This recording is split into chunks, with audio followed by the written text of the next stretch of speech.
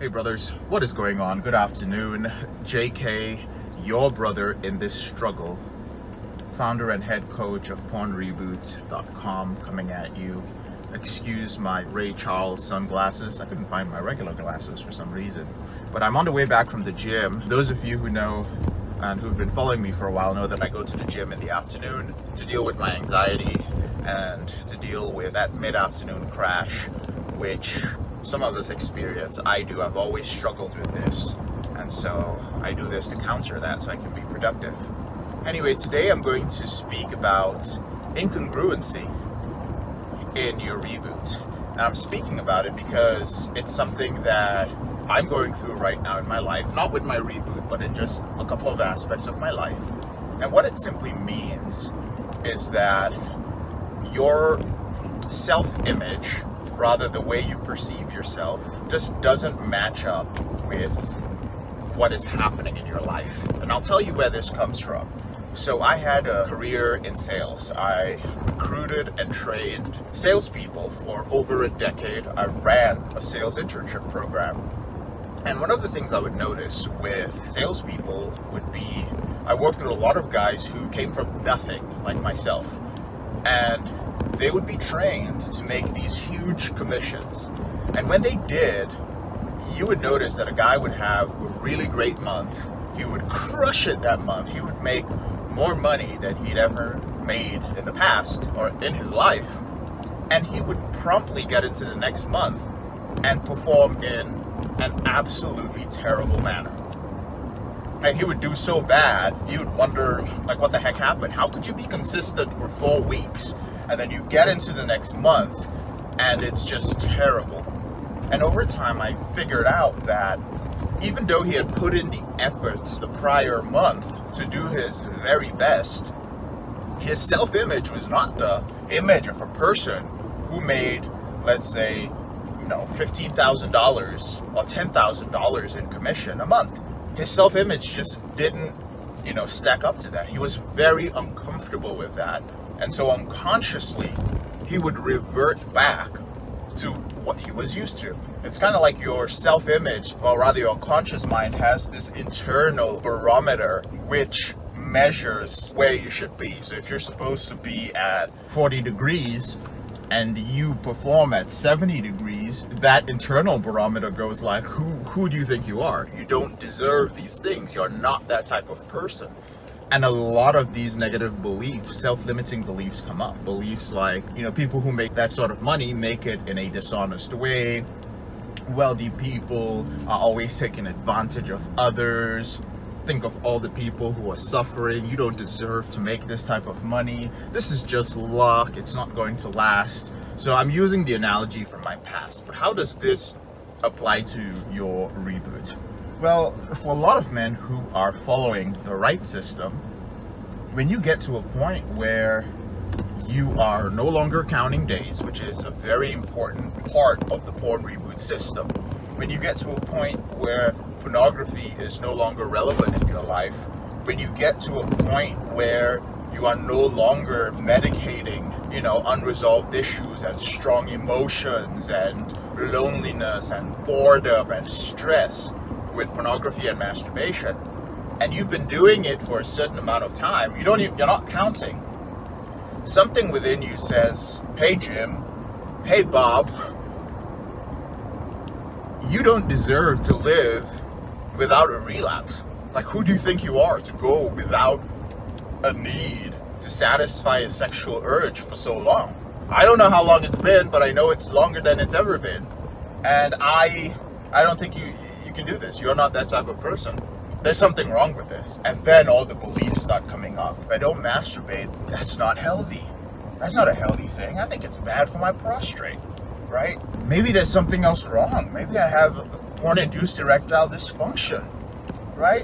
Why am I not checking out girls? Is something wrong with me? Did did porn ruin me for good? I heard some stop fapping guys say that that's something wrong with that. And then these crazy thoughts start getting into your head like well let's test and find out if this is for real. Right? Let's let's watch a little bit of pornography and see if this is if i'm i'm really cured right? And what ends up happening, long story short, is that you end up sabotaging your reboot. You end up relapsing, you end up slipping, or you end up just slowly deteriorating all of those wonderful habits that you've built up over a period of weeks over a period of months. And that is the problem with incongruency. It's that your self-image just simply doesn't match up to your current life.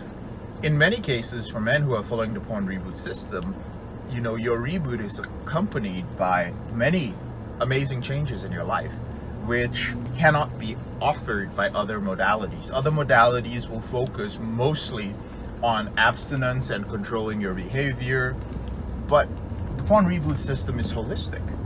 And so your body improves, your self-confidence improves, your spirituality improves, your financial situation improves. I'm very big on that for men because I believe it's an integral part of men's happiness at a certain point in life. Your relationships improve, and it just feels too good to be true, right? But I want you to realize one thing if you're experiencing this, it's that when things feel too good to be true, right? you're like, man, it, it's too perfect. Everything is, it's too perfect. Something bad is going to happen. What you're doing when you slip and relapse and fall back to your self-image is you're not giving that level time to plateau, right? You've got to a new level and that new level has to plateau. And then you're going to start facing challenges which are inherent to that particular level and when you don't you don't give it that time to struggle so for instance a guy who's been off pornography and even masturbation for one year he has a new set of challenges that he's going to face in his life right you don't know what they are if you've never gotten to one year following the system and some guys never even get to that one year period because they're seven months in and they're like this is too good to be true. This is too good to be true. And they sabotage themselves. But when you realize that at each level, your first year, your second year, and to a smaller degree, the next couple of years as you start working on unresolved issues, as you start working on forgiving yourself, as you start working on past trauma, if any, when you realize that, man, even on those levels, I have things to deal with, you can't afford to play the game of feeling incongruent and kind of sabotaging things at the early level many of you live in that cycle. You live in that cycle of just, oh man, it's too good to be true, I'm gonna fuck it up.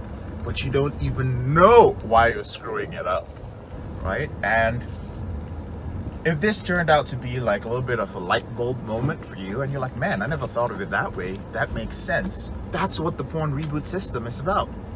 It's literally about taking all the experiences, the assumptions, and the conclusions which you've made, which now form the basis of your belief, we take all those things and we challenge them.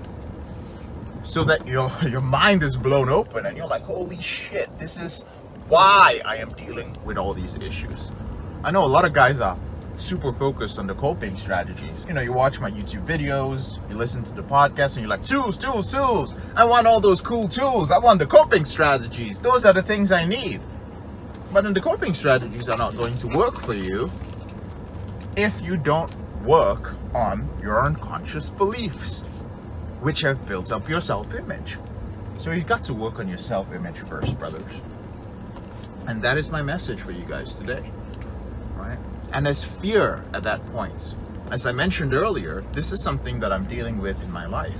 And I remember, you know, even this is to sound so crazy to you guys, but I used to be super broke years and years ago like really struggling and I always lived in studio apartments you know everything in one place. A little kitchenette you know my mattress on the floor little desk and chair that I had purchased on Craigslist. That that was the life I lived. And I remember the first time that I got a one bedroom apartment. And this is gonna blow some of you guys mind. It might anyway.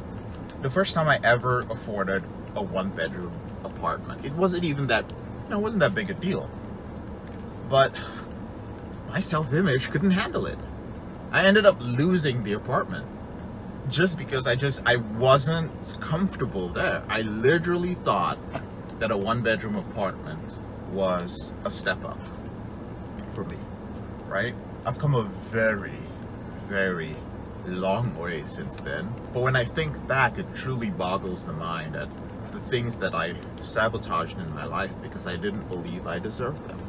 Even my relationship, I almost sabotaged it because I was like, I can't believe that I am with such a nice, caring, flexible, emotionally and physically then flexible, but mostly emotionally flexible woman who's beautiful, who's won pageants. I was like, what the fuck?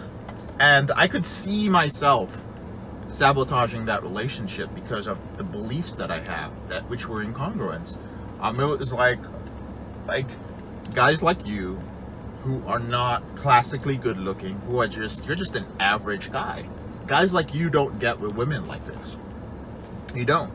And then all these defense mechanisms came up. Things like, you better put a ring on it. You better marry her because you'll never find another woman like this.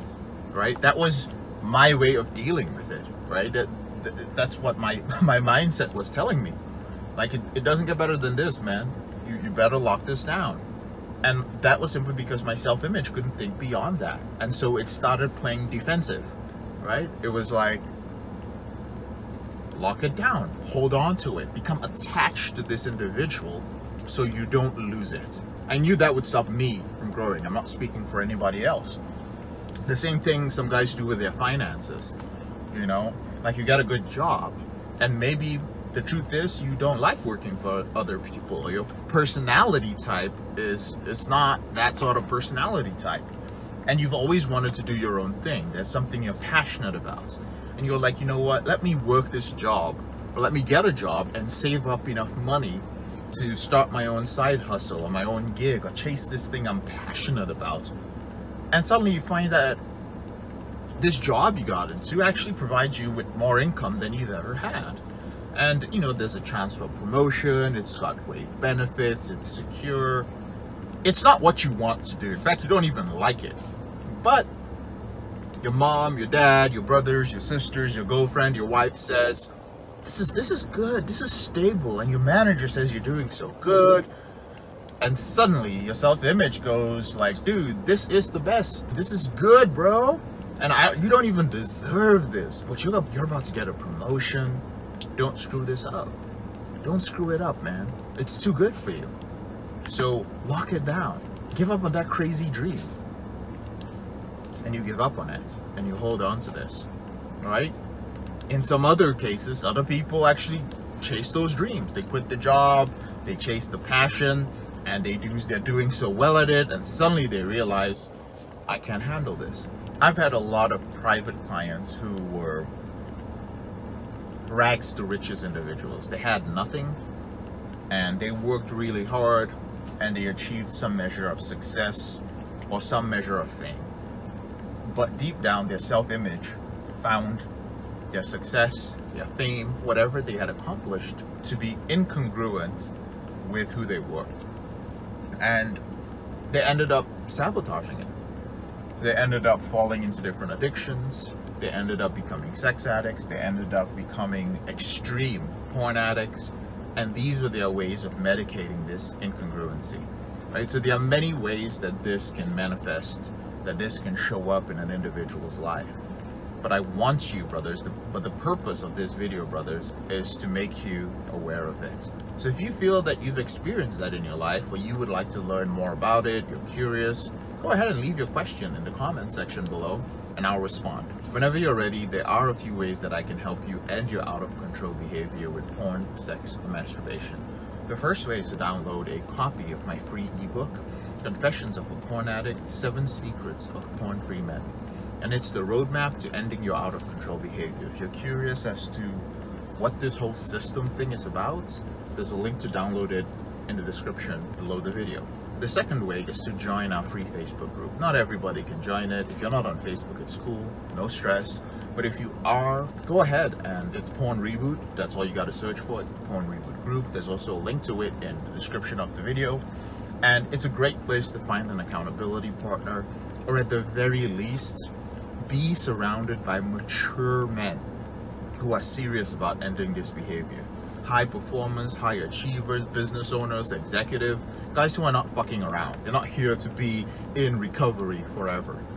Great place. Now, if you feel that you are at a point in your life where you would like to end this behavior quicker, faster, you're making progress, but you're like, you know what?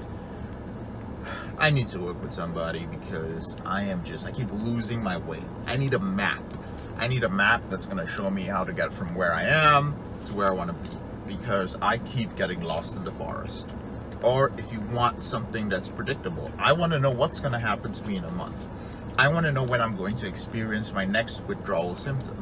I want to know when my PIED is going to end. And I want to have the expertise, because you are the best expert at yourself. I want to have the expertise to predict that. Then you may be a good fit for our group coaching program. We've got two.